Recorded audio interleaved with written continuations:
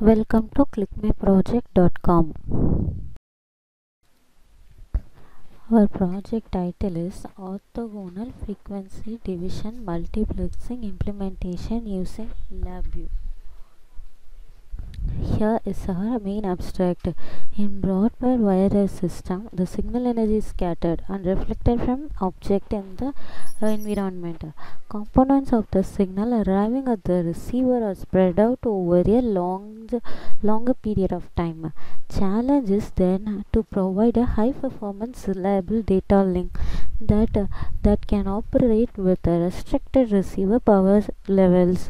With OFDM, it is possible to use a differential coding and differential detection either in the time or frequency domain depending on the condition of transmitting by using the 16 QAM. QAM is the quantum amplitude modulation. In this process, we implement an OFDM with the QAM modulation technique by using the random bit generator as an input for our process and the, and for the transmitter we use the IFFT and then receiver we use the FFFT in the implementation process. Our main objective is to implement the OFDM using the LabVIEW simulation with the IFFT in the transmitter and the FFFT in the receiver for the uh, noise removal and for the better performance. And this is a random uh, this is a block diagram. Uh, for random bit generator to serial to parallel monitor. We generate the random bit generator and then modulate to serial to parallel. And then here we use the modulator 16 QAM modulator. IFFT is the inverse Fourier uh, first Fourier transform and then uh, convert the data parallel to serial and then add the noise AWGN white Gaussian noise and then serial to the serial to parallel and then finally FFFT in the receiver side for first Fourier transform and then demodulator also 16 QAM use and parallel to serial conversion and then output bit stream and then this is a flow diagram. First we start our process and generate the random bit streams and mapping it. And then inverse FFFT is applied. Add cyclic frequency and then channel for the noise noise adding. And then remove a cyclic prefix. And then FFFT in the FFT in the receiver side and demapping. And then output bit streams and the and then finally we stop our processor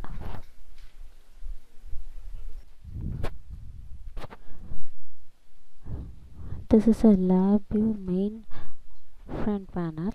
Here we use the input streams and then convert and then use the more 16 QAM modulation for the modulated signal and then the IFFT in the transmitter side.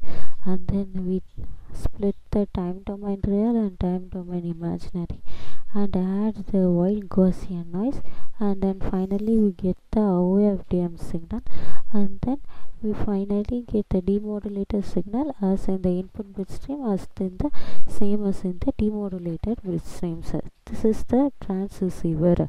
This is the run button in the LabVIEW. You just click on it and then we just see this. This is a 16 QAM so just is it is response for the 16 multiples.